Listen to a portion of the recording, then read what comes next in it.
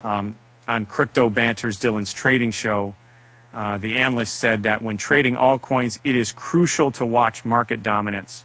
Uh, currently, dominance is trending down, uh, which is positive for altcoins.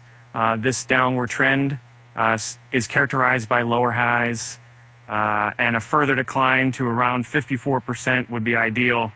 And the perfect scenario involves a further drop in dominance in the next 24 hours into consumer price index announcement, followed by a strong recovery in dominance. This can trigger significant bullish moves in altcoins, breaking trends and establishing new highs. However, he added that don't get trapped in dead coins like XRP and ADA.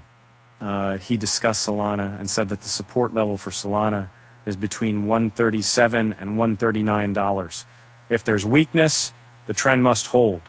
Losing this would indicate a break below the 200-day MA, the 382 Fibonacci level, and key horizontal supports, which would not be favorable.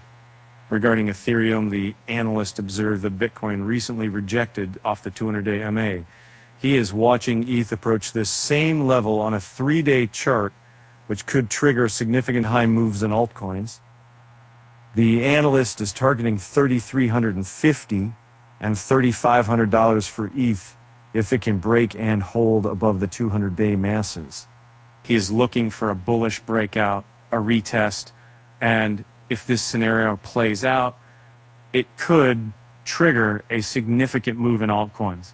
However, a rejection could lead to more pain for altcoins. If Ethereum becomes very aggressive, he expects PEPE to follow suit. The plan is to wait for ETH to break the 200-day MA, which couldn't trigger a rise in PEPE.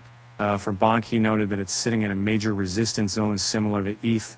Uh, he will monitor for a pullback into the 382 uh, Fibonacci level if there's weakness, uh, especially with CPI data uh, on the horizon.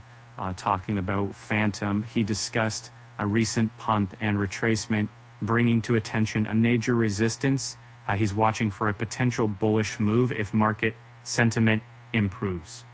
Key entry points are around 45 cents in dollars and 42 cents. Uh, Stacks has been breaking trends and showing signs of a bullish pullback. Uh, the suggested entry is around $1.437, with stops covering further weakness down to the 618 Fibonacci level.